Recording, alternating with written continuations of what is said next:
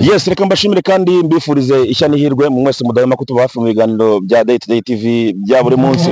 Reka mbashimire kandi mwebwe mwakoze subscribe share comment mu biganiro byacu. Reka mbashimire kandi mwese aho mugiye muri hose mu nce zitandukanye. Nk'uko mubibona mu mabara agiye atandukanye y'iki kirango cya fpr inkotanyi. Wakibaza ngo twaje gukora iki? Twaje kureba iki hano? Ese aha ni he?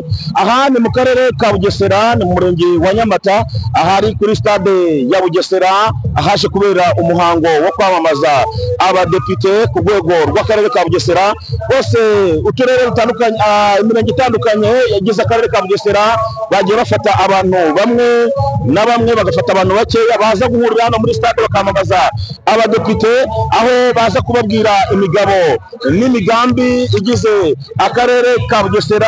Imigabo n'imigambi y'icyo bazabagezaho igihe bazaba bari mu nteko. Nk'uko mubibona rero hano hagiye hatandukanye hari abantu bagiye batandukanye benshi benshi bagize akarere ka bugesera ariko ntabwo ari bose. Siko baje bose kuko buri murenge wagiye uvamo abantu runaka batoranyijwe bagomba kuza guhurira hano kuko ntabwo iyi stade agomba kuba yakuramo abantu bose bagize akarere ka bugesera. Ni mu rwego rero rwo kwamamaza abadepite cyangwa se rwo kwamamaza eh, abadepite batanzwe n'ishyaka rya rpf inkotanyi cyangwa se rya fpr inkotanyi aho riberewe umuyobozi cyangwa se chairman nyakubahwa his excellence paul kagame.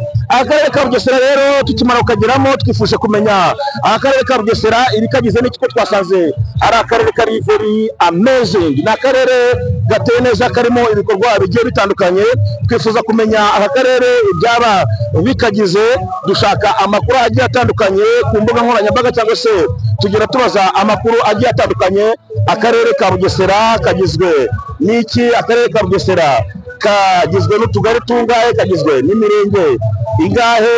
Niyo mpamvu rero tugiye kubagerera kuri iyo ngingo tukababwira ikijyanye n'akarere ka bugesera ibikagize imirenge ikagize eh, imidugudu utugari n'ibigiye bitandukanye biri mu karere ka bugesera.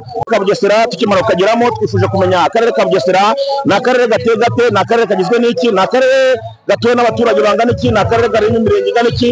Akarere ka bugesera nk'uko twabibonye mu mibare twabonye ko akarere ka bugesera kagizwe n'imirenge cumi n'itanu akarere ka bugesera kagizwe n'utugari mirongo irindwi na tubiri murumva ko ni akarere gafite eh, abaturage benshi kagizwe n'imidugudu magana atanu na mirongo inani n'umwe ndetse n'ubucucike bw'abaturage magana ane na mirongo itanu.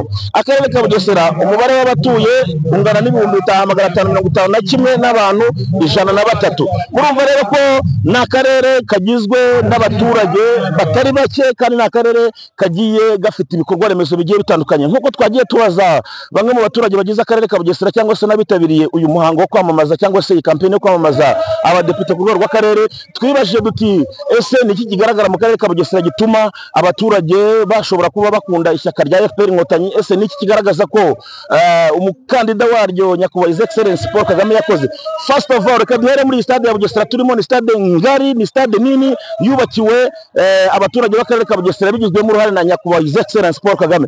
Nk'uko mubibona hakurya twagerageje gutera amaso hakurya twabonye ikindi gikorwa remezo cy'ishuri rinini cyane. Ni ishuri ryitwa intare school. Iri ni ishuri riboneka muri uganda ari ryo ryizemo abayobozi bagiye batandukanye barimo nyakubahwa his excellence kagame aho yiganye na nyakubahwa kaguta yoweri museveni perezida wa uganda. Bityo rero perezida wa repubulika aravuga ati iki gikorwa remezo twagombye kukigira mu gihugu cyacu. Si icyo gusa.